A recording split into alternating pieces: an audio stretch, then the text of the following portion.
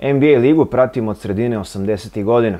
Seckao sam iz nedeljnika Tempo, dve stranice posvećene ovom takmičenju svake nedelje, pa onda sa nestrpljenjem čekao svaki novi broj magazina Koš i prve direktne prenose krajem 80-ih koji su me uz iznemljivanje kaseta u videoklubovima sa NBA utakmicama naterali da se zaljubim u NBA i košarku generalno. Sa takvim stažom slobodan sam da izađem sa dve najbolje petorke igrača koje sam gledao uz jednu bonus petorku igrača koje sam obožavao da gledam. Dakle, nažalost, nisam gledao Chamberlaina, Russella, Robertsona, Maravića, Karima Abdul-Jabara, sam uhvatio samo na zalasku karijere, pa sam zato u svoju drugu petorku smestio sledeće igrače. Tandem Utah Jazz, John Stockton i Karl Malone. Centar neka bude Hakim Olajuwon. Krilo Larry Bird, a back shooter Kobe Bryant.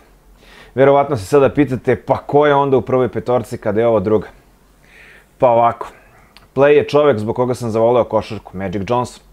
Bek je čovek zbog koga sam utvrdio ljubav prema košarci, Michael Jordan. Trojka je najdominantniji košarkaš svih vremena, LeBron James. Četvorka je perfekcija osnovnog košarkaškog znanja, Tim Duncan. I petica je najsnažniji i najdominantniji centar svih vremena, Shaquille O'Neal. I ono što sam obećao kao bonus, petorka mojih miljenika. Otvara je bela čokolada Jason Williams – Samo pogledajte njegove highlights i bit će vam sve jasno.